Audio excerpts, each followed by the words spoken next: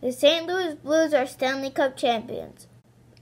That became the case after they beat the Boston Bruins 4 to 1 last night in Game 7 to capture their first Stanley Cup title in their franchise's history after 52 years.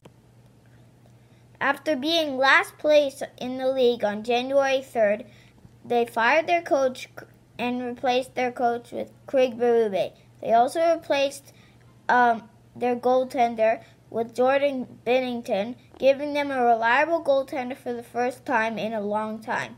That made a difference, and their trade acquisitions started to come through. They're, they were criticized for giving away pieces, but their trade acquisitions started to come through. They beat the Winnipeg Jets in round one, the Dallas Stars in round two, the San Jose Sharks in the Western Conference Finals, and then the Boston Bruins in the Stanley Cup Finals. Going into the Stanley Cup Finals, they knew they were facing a team that was tougher than them. The Bruins love to use all the ice, they rush up fast, and the Blues were in for a challenge. And it was evident that the Bruins were the better team when they won Game One, four to two.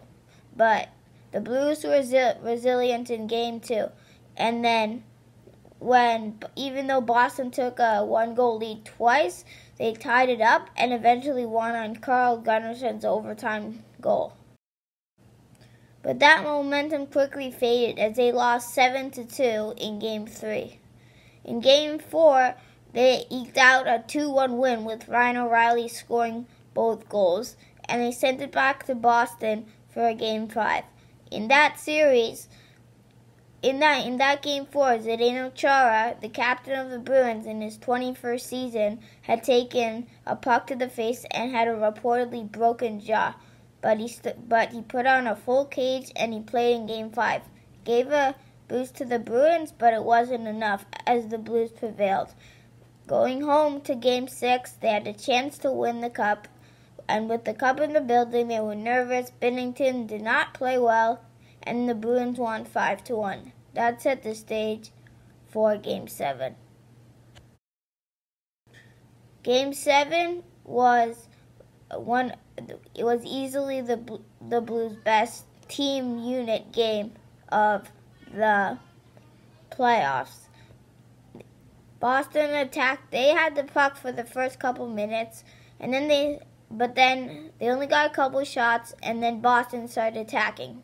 They had a power play, and Jordan Binnington was absolutely brilliant. He stopped Marchand on a shot that he had sliding from left to right. He stopped David Krejci and Marcus Johansson on breakaways in tight, and he made a lot of other saves to keep it at 0 0 there was a shot timer and they went over 16 minutes without taking a single shot on net.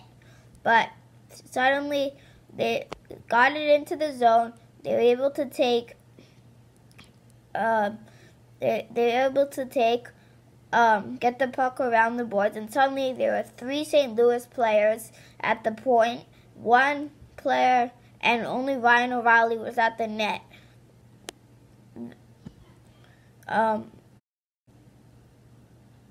the pass came to Jay Bouwmeester, and the left-handed defenseman let it rip, and it was tipped by Ryan O'Reilly through the pads of Tuukka Rask to make it to make it one nothing. Then the Bruins pressed a little bit, and then and the period was almost over as the final 30 seconds were winding down, and the Blues got out of their zone. Blues got out of their zone, and then I don't know what happened, but Brad Marchand and another Bruins defense player made a terrible change. While Jaden Schwartz was putting the puck deep in their zone, they were going for changes. I don't know if um, they I don't know if they were yelled at to come from the bench or they just thought it was an appropriate time, but it wasn't because that made it a four on two.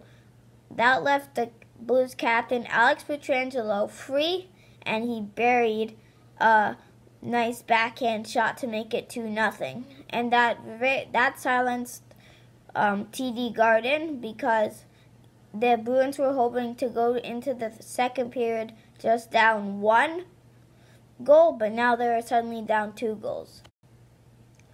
The Blues knew they were going to be facing an onslaught, and they were right.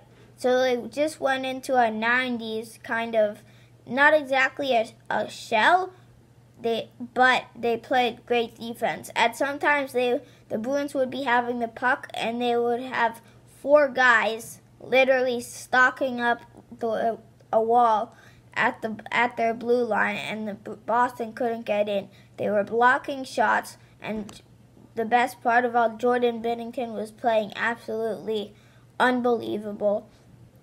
And they started playing 90s hockey. The referees weren't calling penalties even though the fans were getting upset.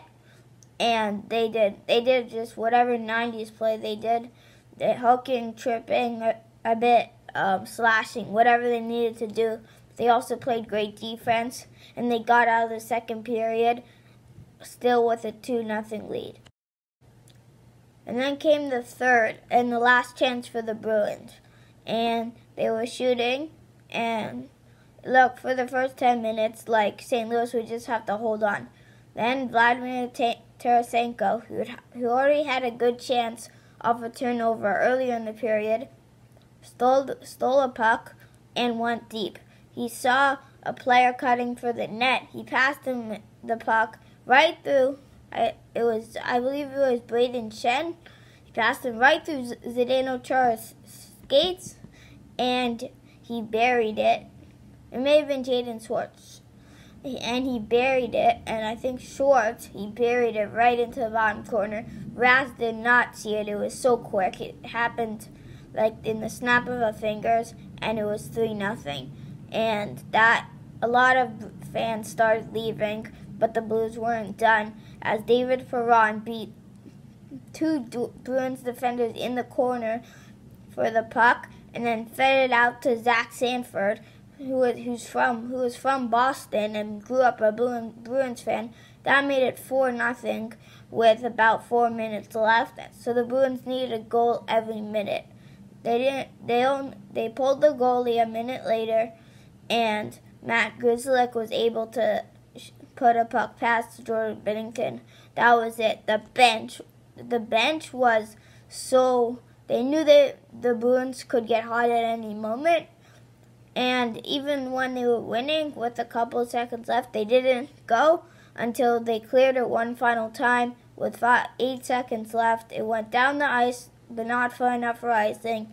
Torey Krug was skating back, and that was when the clock hit zero, and they went nuts. They had done it. The la- the team that was in last place on January 3rd was now Stanley Cup champions. At in a, one of my favorite moments watching the post game interview was Ryan O'Reilly. He's talking about um, about winning the cup, and he he said the F word, and then he was so sorry to the reporter, and everyone had a good laugh about that. And there was also a young girl who was surprised, who had cancer, who was flown in by the Blues to Game 7, and she got to hoist it with her favorite player, Colton Parayko. Ryan O'Reilly won the Conn Smythe Trophy um, after having only five goals in his previous 33 games. He was able to get five goals and four assists in the Stanley Cup Finals, although it did some of that did overlap until Game Three and he, he won the Conn Smythe Trophy as play, playoffs most valuable player. He's the only player since Gretzky to score to, to score in four straight Stanley Cup Finals games: Game Four, Game Five, Game Game Six, and Game Seven. Um, and that's a tr- tremendous achievement. But the tremendous achievement was winning the Stanley Cup. And congratulations to the St. Louis Blues their fans, their organization, every, and everybody associated with them. It was truly deserved. So thanks for watching, guys. Don't forget to like and subscribe. Uh, comment down below um, who you who you would pick for the Conn Trophy for the Blues. Um, tell your friends about these videos. Don't forget to like and subscribe, and I will see you in the next one.